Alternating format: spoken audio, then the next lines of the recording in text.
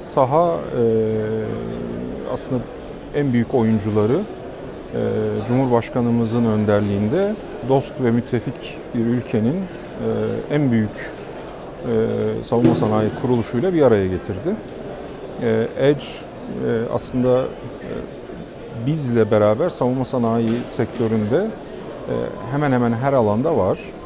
Ama ürün gamında olmayanlar e, açısından teknolojik işbirlikleri gerekiyorsa teknoloji transferi projeleri üzerinde görüşüyoruz. Bu aşamadan sonra ne kadar ilerleyeceği iki tarafında karşılıklı bu işe bakış açısıyla ilgili.